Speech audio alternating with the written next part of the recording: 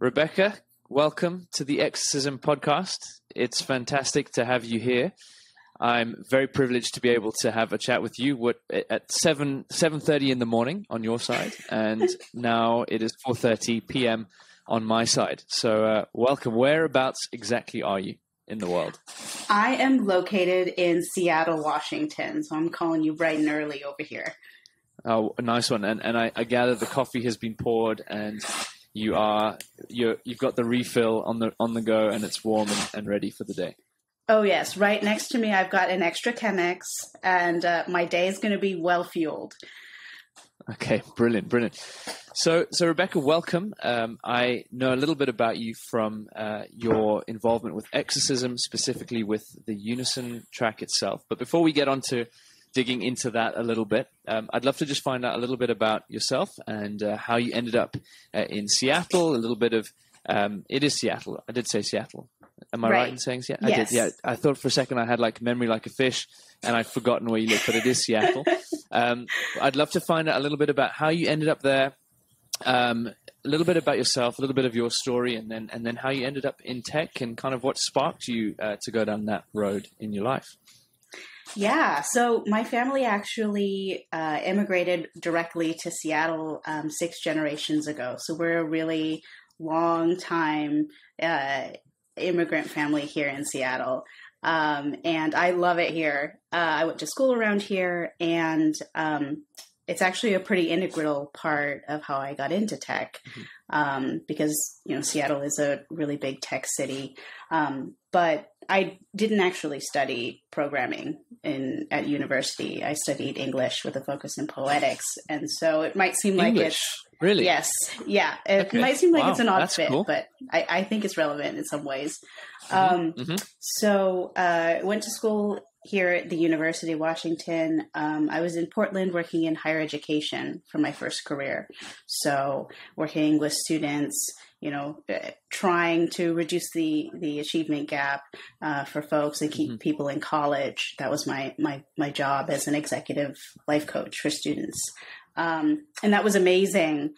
But um, I worked with a lot of online colleges, and I saw the Mhm. ways in which my students really struggled with the technology platforms, the ways Mhm. that technology was also enabling them to, you know, have better experiences and to kind of transform their lives and and help reduce generational cycles of um, poverty or oppression. Um, and I wanted to be involved in that in kind of a hands-on way. Um, and you know, perhaps perhaps selfishly, you know, education is is really hard uh, for a lot of reasons. It's really lovely, but it, it's also really Mhm. challenging. And in technology, you do get to feel like you make progress every week, and um, it Mhm. it sort of sparked a, a problem solving um, aspect for what I wanted for my career. So I kind of changed paths and uh, applied to a school called Ada Developers Academy, which is located back in Mhm. Seattle. So that's what brought me kind of full circle. Um, ended up moving back Okay. and did the year long program there. So hang on. So you you grew up in Seattle and then you moved away to work uh, to start your career. Where did you leave to go to from Seattle? What town I went to, go to Portland, so just like a little bit south of Seattle. Yeah. Okay, I see. Okay, cool. And then so so now you did languages, poetry, English, literature. Mm-hmm. Um, I did that as well, uh, but at, at high school, and I loved English and all of that kind of stuff. So I was like, woohoo, another English literature Yes. student. Um, but um, tell me about the first, like the the process of going from your seeing all of these problems being solved in front of you in terms of technology and all of that deciding to take the leap how did that process how did you decide to like okay i need to leave and and break the career pathway and move into something completely different? Like what was that like?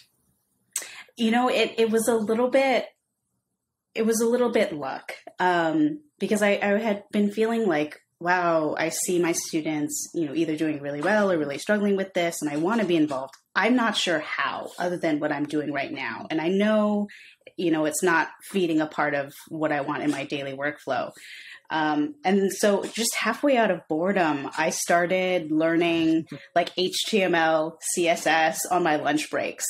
And I would just like practice making little websites or little web forms. Um, and, and I did completely f- free uh, learning materials at the time.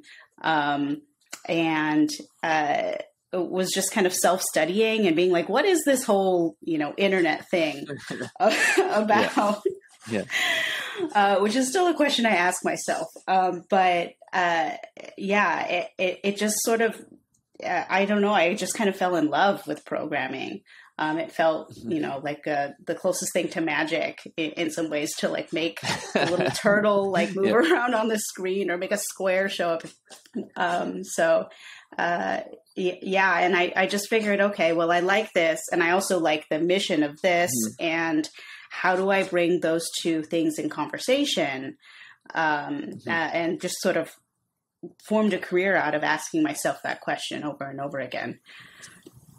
Cool. And and so the process then of learning to code and, and going from a well, learning how to conceptualize and frame what was going on on the computer, but sort of have a mental model f- for it. I mean, one of the things that's interesting when I talk to a lot of people, and, and I would actually say is true of, of my own experience with development, because I'm sort of slowly encroaching in on that space piece by piece, um, was having a, a, mental model for what's going on and being able to generate that in your mind it is a huge part of of learning to code. So how did how did you do that? Like, what was the how did you find out about how you learned, if that makes sense. So hmm. um, you're looking at C- C- HTML and you're like, okay, cool. How did you kind of start to order that information in your brain, if if that makes any sense whatsoever? Mm. Yeah, no, that's a great question. How how how did I kind of formalize that? Um, I think one of the things that was drilled into me from my education in literature was, you know, you read carefully and you you read read between the lines and you pay attention to the form of things. And I think a, a program has a form. Um, I worked in typed languages, and so like there's there's very specific like there's ways in which you can write a truly non-compiling thing. Um, you know, I, I uh, when I program, I, I, like to think about like, okay, what's the, the sort of structure of, of the goal? What's the narrative? Um, and I know that may be atypical, you know, a sort of very atypical way of imagining, you know, what a computer is doing or, or putting, you know, a, a and B together. Um, but yeah, I've I've always just thought about okay, what if if I imagine the computer as a as my protagonist? What's what is it doing at points A, B, and C, um, and how does it achieve the goal that that I that I want it to do? And it may not be as interesting a story as like you know Finnegans Wake, but uh, you know it it uh, maybe maybe opinions vary about that, but um, you know uh, that that's kind of the the model I've adopted. That's fascinating because what you talk about now, I can totally, I can totally place that onto a program or code. Like you have your scenes, you have your characters, which you could mm-hmm. say are like variables, or you have then the plot, which is the kind of fun.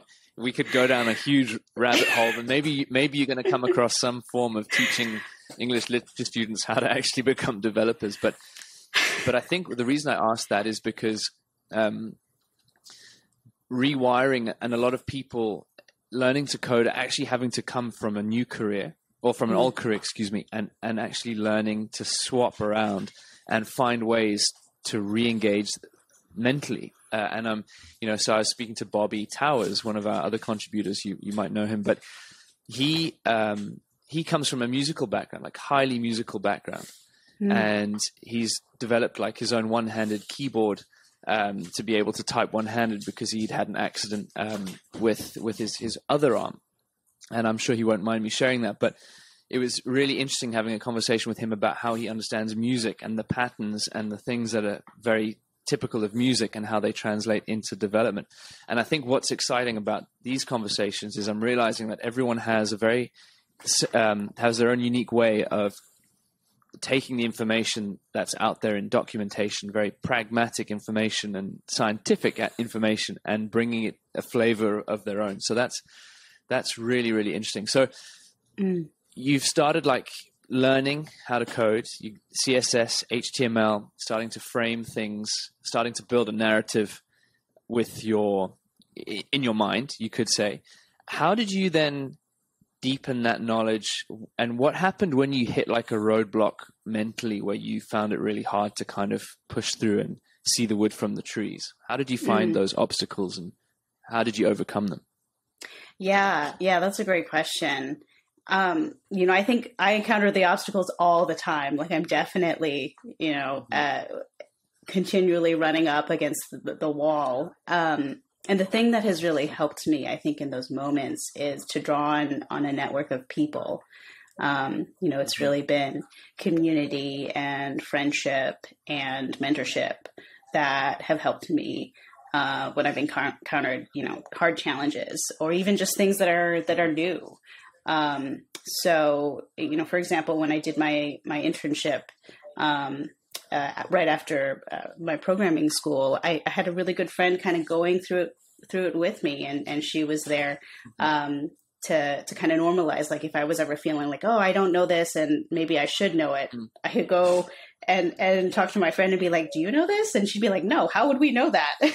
um, so you know the ability you read to the kind documentation? of yeah. oh, well, uh, good that made. yeah. So you know, I think having people around me helped normalize where I was in my journey, uh, and people mm-hmm. have been really generous with you know their time and their support. And so, like you know, my attitude mm-hmm. always um, is to just pay that forward. Um, mm-hmm. Because yeah, it, has been community that's really kind of held held me afloat uh, through hard times. Um, that's really cool.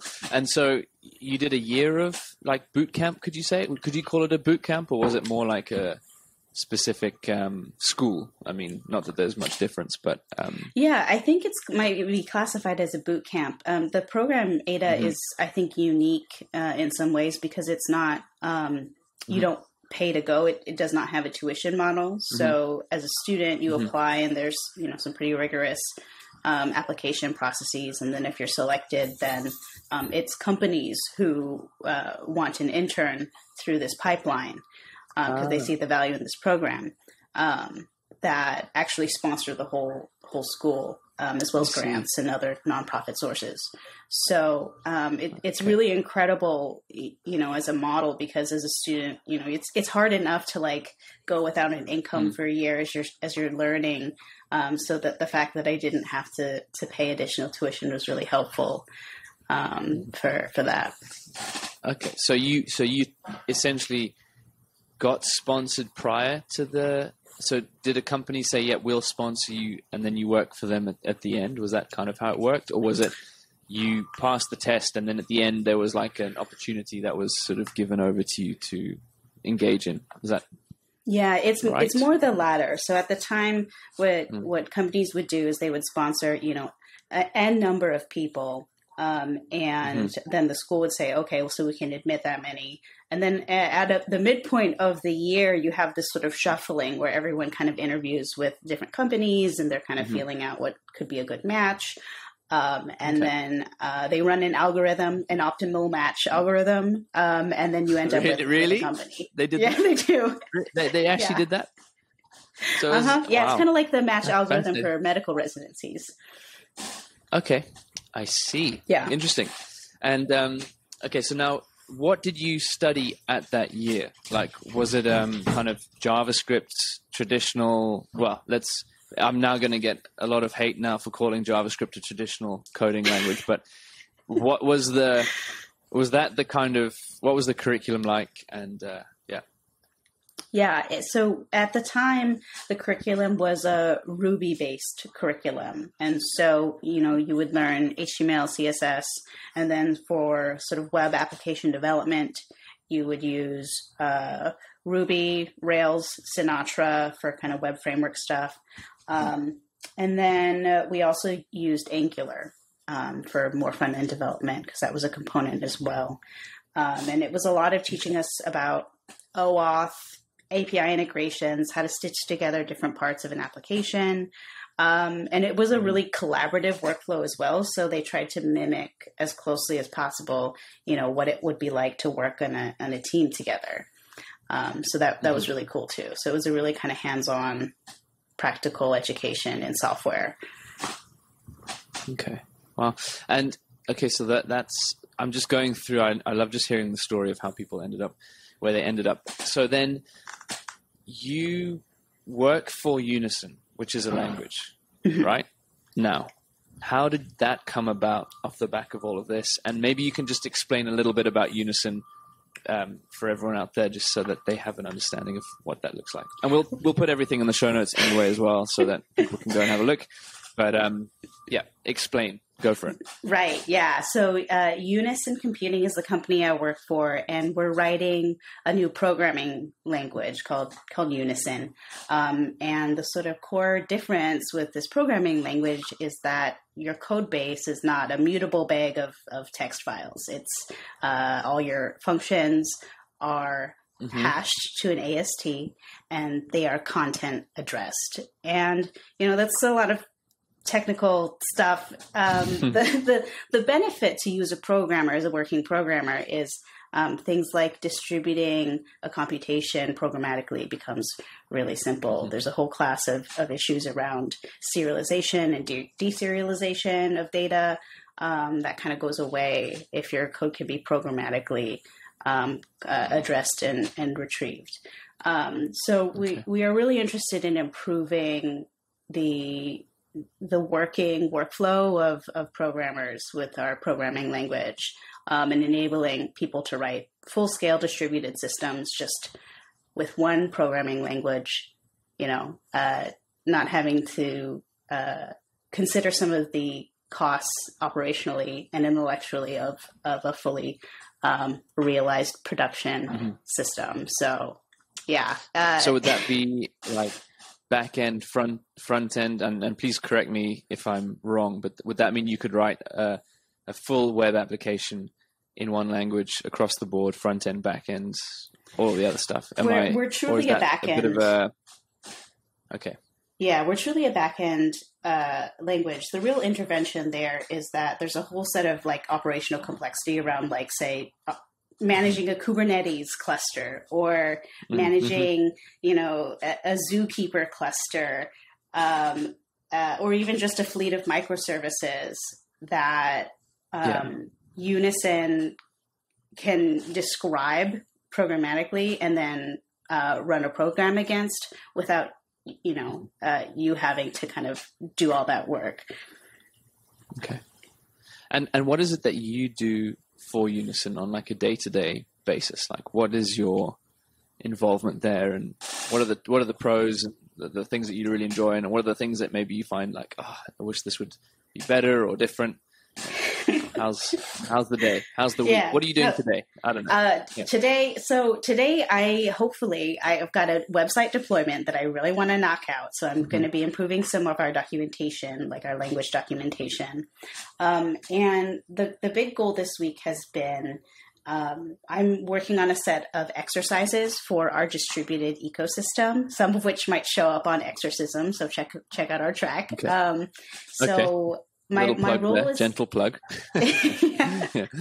yeah. Um, my role is to help people learn unison and to feel like they okay. can step into the language and gain working proficiency and feel welcomed um, and mm-hmm. you know get the information that they need to to to realize mm-hmm. whatever their their goal is. Um, so yeah, and any that sort of a grab bag of of activities is what it ends up being during the week because someone might need troubleshooting or another person will be like, this link is wrong on the website. So it does kind of vary. Yeah. yeah.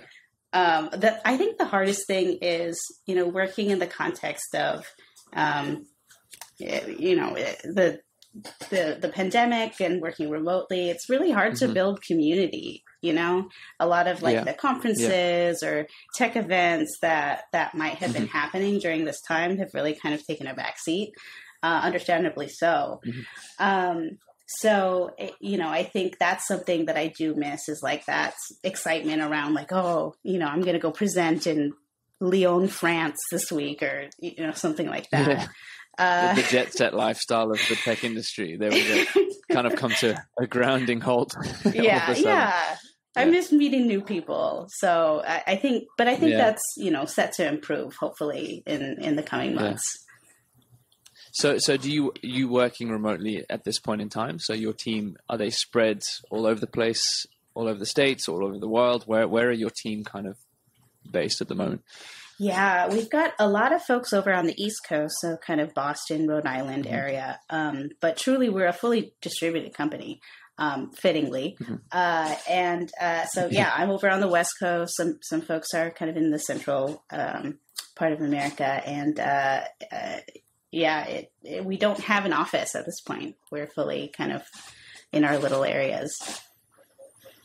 Okay, so how do how do then do you, do you have the opportunity to go out and, and meet other people in the tech space at the moment, or is it kind of like you said, everything is ground to a halt and it's kind of a little bit sort of wake up, go down to the home office, close the door, leave, go home, up the corridor. You know what I mean? Is it are you are you how are you finding that as a whole? What are some of your challenges like in terms of staying connected with work, or like how how are you dealing with the situation currently, and and yeah, I mean, what what does the future look like for you in in, in that, um, and for Unison as a team? Is it remote long term, or is it kind of the goal to sort of move into something a little bit more uh, in person? I, I, think the goal is to stay remote. You know, it works for a lot of folks, um, you know, who have duties outside of work or, you know, and, and fundamentally, I do really like it. Um, uh, for some reasons. So, uh, one thing is we have had an online conference this past year. Um, and I hope that that continues, you know, as we continue to grow the mm-hmm. community. Maybe we'll even have an in person component for next year. Um, mm-hmm. And another thing that we're doing um, actually in the coming month is we're going to have a company in person retreat. So we've rented this oh, big, nice. yeah, we've rented this big mansion in um, like Boston, uh, and we're all going to kind of swarm uh, over there, and it's got all these cool rooms and a tennis court, and we're just going to work, wow. you know, together and do more of the, you know, planning activities or sort of vision activities yeah. that would probably best be done in person. So, you know, we we are kind cool. of like bringing bringing the crew together a little bit more uh, now that that's become more of an option.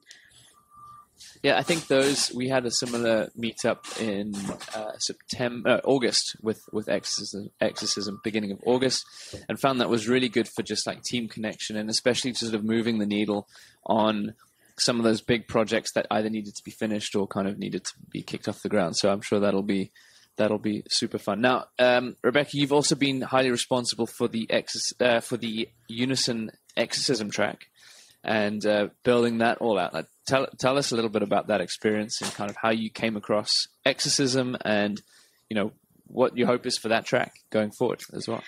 Yeah, yeah, no, that has been a really fantastic experience. So, um, it, exercism was initi- initially uh, surfaced to me from my coworker Stu, who uh, mm-hmm. is a big fan of the platform and has used it before. Um, and at Unison, you know, I didn't have the resources to build out a full like learning content management platform. Mm. Uh, you know, we're we're a pretty small crew and we've got a lot of other objectives, and so I was like, how do I how do I get people? Twenty years later, yeah, I'm still making the platform. Um, uh, yeah, uh, so we knew we needed to partner with a different organization to you know get get the unison language out there for folks to try and you know hopefully if there was a browser hmm. component mm. that would be really awesome because people could engage with the language in a really lightweight way um, and so when we saw what exercism was offering um, we were like, okay, this this is a great community. It's it's growing. You know, it's mm-hmm. free, so you know that's really cool. Our users would like that. Um, uh, so yeah, uh, we just decided, okay, this is going to be how people, you know, can can practice um, mm-hmm. uh, it, the the language. Um, so the process itself for building out the, the track is a little interesting because Unison is not a file based language, right? Like your code base is okay. is, is is hashed and saved into a code base, and most other languages operate with with files on a file system. Yeah. Um, so there there was some interesting technical challenges there. Um, uh, but just expand on that a little bit. Like what I'd love to. I mean, just not speaking as a non-technical person, and I'm sure Jeremy and uh, Eric would laugh at me at this point for asking a very technical question. But just just dig into that a little bit into some of the challenges, and I'm sure people can pick up um, a little bit what you're talking about um, if they're listening. Yeah. So in Unison, you work in these things called scratch files. Um, and scratch files are mm-hmm. anything suffixed with a .u, and they're truly throwaway. They're throwaway files. Uh, you write your your little program. You might run it, you know, kind of in a, a REPL like mm-hmm. experience or a notebook like experience, but then you delete the function from the from the file because uh, you've saved it into okay. you know a, a, a, the Unison code base itself. Um, and so the Unison code base is the source of truth, not the file system. Okay. And and where that becomes interesting with integrating with with exercism is, of course, you know, uh, it, exercism looks at the at, at the file. It's handed a file and runs a bunch of tests against it, and then says, okay, the student has you know, passed the test or here's some issues. Um, and it ended up working out okay because every time you run the test, you basically um, get issued a, a, new Docker container. Uh, there's some there's some technical stuff that happens on the back end that is really clever. Some magic wizardry. Thank yes, you, there's some magic wizardry. Eric, Eric uh, you know, gets gets a bunch of snaps for for what uh, the platform does. Yeah. Um, yeah. So uh, yeah, it, it, it ended up working okay. Um, but uh, mm-hmm. the fundamental model of, of Unison as a language is that you know it's not a file persisted code base. Mm-hmm. Um, so if students want to save their work, kind of run per run, what um, do you do? it's like right. where do you where, where does it go? So, that, so um, does that mean that does, does that mean a student has to start technically would have to start at the beginning of every like at the beginning of the curriculum pretty much every time because that's where my mind went was like oh no saving but maybe that's just the, the, the silly way that my brain processes but i was like oh wow I have to start again. the so the, the, fortunate thing is the the web interface it it saves the last run. So like while we don't necessarily like save the file system or save the file state, uh, the exercism mm-hmm. platform itself saves the student's work. So that that's wow. really cool. That's that is is really awesome. And then if a student is using on on the command line, well then they have access to mm. the full suite of the sort of whole Unison experience, right? Because then they're actually okay. downloading the Unison Codebase Manager and working with it directly. So uh, yeah, okay. there's a lot of flexibility between the the web based interface and and working on the command line. Okay, that's that's that's really interesting. I it's so cool because every time I talk to a different maintainer or contributor on the Exercism platform, just the nuance of each language and the little like intricacies and the stuff like that, it just um, it blows my mind how many different ways there are of, of of doing stuff across across the board. So, okay, so now you're at Unison. I think now would be a good opportunity to ask you the question that I hopefully prepped you enough beforehand for um, around this whole concept of the hill that you would die on in the tech space. Ultimately, what one thing are you like? This is my um, my view, and I think it's absolutely essential. And I wouldn't budge from this. I would fight. Well, we don't like the word fight necessarily at Exercism. It's more like what would you wholeheartedly put yourself behind and say this is a this is something that I really um, want to stand by. What what thought or it could be like put your functions before your CSS. I don't know. I'm just making something up, but it, I don't know what it could be anything. Uh, yeah. Um, my my hill that I will die on is that I think ha- I think tech too long has accepted toxic personalities at the cost of you know because they're technically brilliant. Um, mm-hmm. And I I think that that should be inverted. I, would much rather Uh, I love it. Yeah. I would much rather work with 50 really, really competent, hardworking people than one mm-hmm. genius jerk.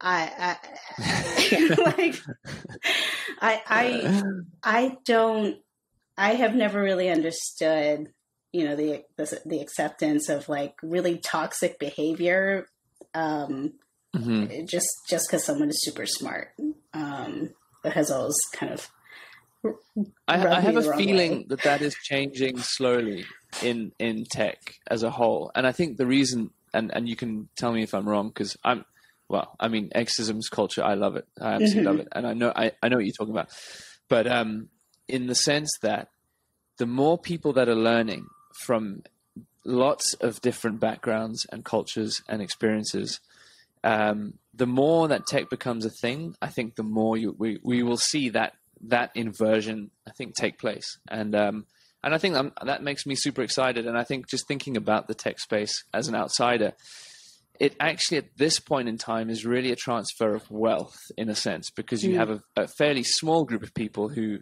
have knowledge because that knowledge, like even like understanding the command line or what the heck is going on with like your bash scripts and all of that kind of stuff. I haven't got a clue what's going on under the hood, but the the tra- the knowledge is causing a lot of money and energy and finance to go into that space because that's who have the skill and the knowledge and in order to do that. So I think I hope I'm right in this over time over the next couple of years as people learn and people are able to push back and counter and come with different ways of understanding stuff that we will see that shift. I'm I'm positive um, and I'm hopeful of that. But um, I think I agree with you on that. I think it's it's been really interesting like ultimately what I've experienced is you can have the genius, but actually the amount of energy required to manage that on an emotional level, and plus the fallout with other people, plus the stress that other others have to handle yes. with clients, for example, or within the team, it it actually it it it balances itself off, and I've not seen like a wholly positive experience. Someone has to pay for that exactly. in the system. Someone is paying for that. Yes. Um, so I'm I'm very with you on that, and I think that's something that it, you can apply that also to like tech um, solutions for things. It's like mm-hmm. this is the one way to do it. It's like no, there's actually 20 ways. And there's all trade offs. And actually, the maturity is to say, what is the trade off that you're willing to accept? Rather than being like, no, this is the, how it has to be done because it's always been done this way. Anyway, mm. penny's worth for me, but um, yeah, yeah, wholeheartedly think, uh, agree. I'm in agreement in, in that. Okay, cool. So I think we are both on the same page with with regards to um, that whole hill. I'm realizing there's a lot of hills that I'm signing myself up for at this point in time, yeah, which is funny. every time you have a like, podcast interview. Like, yeah, exactly. I'm like, wow. I, I, at the moment, I'm dying on seven hills at this point, um, at least but uh, no, I, I, really like that. So, so Rebecca, what for you in the next couple of years? What what is it that you're hoping to like learn or hoping to kind of see in your life um, in in tech as a whole? Like, what what's your kind of dream? What's your perspective on that? Hmm. I think I would love to see the Unison community grow in a way that's really sustainable. That you know really welcomes people from different backgrounds into it. Like that's wholeheartedly that's the reason I joined Unison. Um, was mm-hmm. was the opportunity to kind of shepherd a community forward. But um, mm-hmm. in the long run, I would also love to re-engage with like people at the very beginning of their tech journeys. Mm-hmm. You know, people who were like me, uh, you know, ten years ago, uh, who just were like, mm-hmm. what is what is you know how do we make the internet work? You know they're curious but they don't necessarily have the background and um, you know have yeah. different ways of thinking about tech. And i would love to do um, uh, programming for poets you know have uh, that would be amazing. Yeah. Songwriters and poets some code yeah yeah so hopefully hopefully i do get to kind of engage with folks at the beginning of their journey um, in tech i think that'd be mm-hmm. really awesome so then, if if you had ten people walk into your room right now who all completely had no idea about coding and development and the world that is within, what would your top three tips be for them to get going? And and they had no choice; they had to learn. It was like, cool, you are here. There's no get out. You have to just get on with it. What would be your kind of where would you start them, and how would you go about doing that? Mm. I would tell them that they should look around the room and see everyone's success as their own. And then I would mm-hmm. probably tell them to I'd probably tell them to like invest in learning how to to test uh, test a system, uh, check their work. Um, mm-hmm. I would tell them, oh gosh, I would probably tell them about like using a debugger and practical stuff. But I think the first point is really what yeah. I would I would tell them is to to see see everyone else's success as their own um, because on and some days think, that's I what mean, I love, have. Yeah, yeah, yeah. No, because that's a really interesting point. So we we ran these cohorts just recently. Um, I don't know if you know that we ran sort of two 30 day learning experiences um, in the Elixir track and in the Go track. Yeah. So we've done, th- and, and we had like 300, no, more than three, 700 people sign up for this for the Go track, and we had about 100 on the on the Elixir track.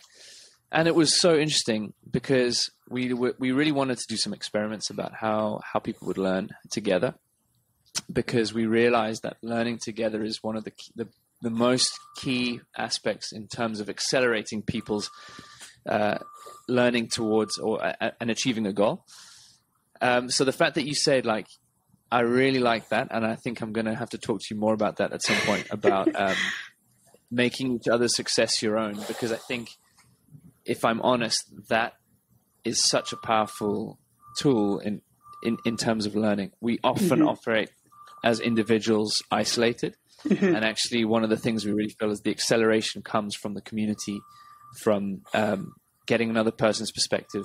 And, and actually, I think I'm going to have to poach that line and yeah. maybe ask you for it gently to make others a success. Please do. Um, Please share. As a priority. So um, maybe we could do something around that. But um, that's really cool. I really like that. Awesome. So uh, thank you. Thank you for sharing that. Rebecca, thank you for your time. I think uh, it's been really cool just chatting and, and having a, a good time talking about coding and, and, tech and all of that kind of stuff. So thank you for, for waking up early, for brewing the coffee, and for, for making time for, for me this this morning or you, in your morning.